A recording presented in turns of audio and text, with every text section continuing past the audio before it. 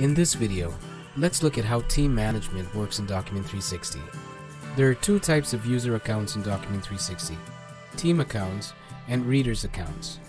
A team account is used by your internal team that builds and manages the knowledge base. A reader account can be considered your users for whom the knowledge base is built. Here, we'll focus on team accounts. The team management page is divided into three tabs. The first is the team members tab.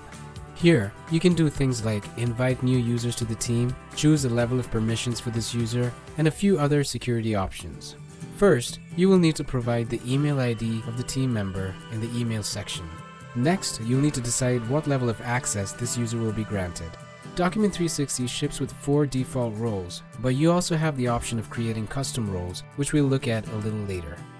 The admin and owner roles have elevated privileges and have access to things like settings and billing. The draft writer can write articles but cannot publish them. The editor will have permission to edit, write, and publish articles. Next, you'll find a couple of security options. You can add them to a specific security group, or, depending on the role selected, you can give predefined access either to the complete project, version, or category. The next tab is Security Groups, and here you can create predefined security profiles, which can then be assigned to your users.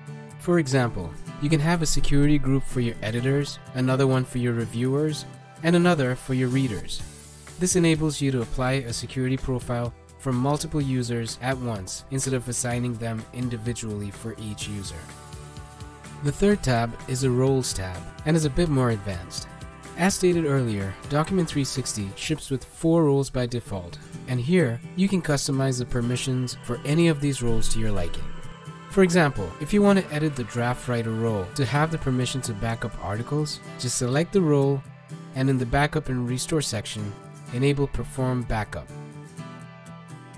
If you find that these default roles are not meeting your needs, you can create your own custom roles. Just click on the add new role button give it a meaningful name and description, and set the permissions.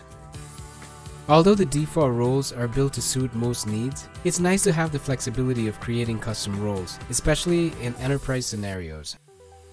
Thanks for watching, and don't forget to check out more videos in the tutorial section.